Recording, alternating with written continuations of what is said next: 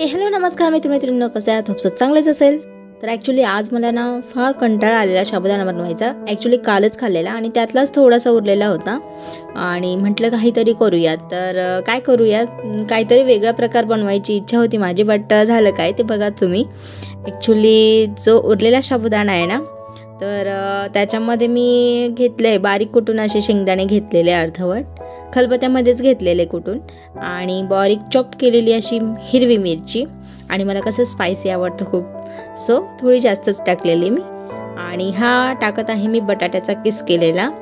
छान असा छो बारीकसा किस केला आहे बटाट्याचा. कच्चा बटाटा आपला. म्हटलं आणि बॉईल कोण करेल नाही का? एवढं काही करायचं एवढं छोट्या शब्दांसाठी काय करणार तरी. सो याला असं मीठ टाकून व्यवस्थित असं मॅश केलं एकमेकांसोबत एकजीव करून घेतलं. आणि हे नंतर मी काय केलं बघा तुम्ही समोर दोन चमचे घेतले आणि त्याच्यामध्येच असं चम्मच चम्मचने राऊंड राऊंड केलं. आणि हे जसं आपण साबुदाणा वडा करतो त्याच प्रकारचं मी हे केलं. बट जास्त काही मेहनत नव्हती याच्यामध्ये. जे बॉईल वगैरे काही केलं नाही मी. आणि छान असं गोल्डन गोल्डन ब्राऊन होईपर्यंत छान असं तळून घेतलेलं आहे तर बघाच तुम्ही की फायनल रिझल्ट कसा असेल?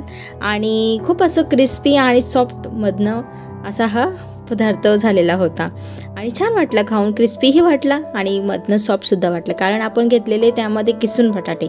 तर त्यामुळे त्यामध्ये कसं सॉफ्टनेस असं आलं आहे त्याच्यामध्ये. तर तुम्ही इंट्रोला बघितलंच असेल की कशी क्रिस्प आवाज आलेला आहे याचा. खूप क्रिस्पी असा आवाज आलेला नाही का? चला तुम्हालाही हा साऊंड मी ऐकवते. तर चला ऐका तुम्ही. की किती क्रिस्प असे झालेत. सो काय don't forget to subscribe to my channel so see you soon in the next video bye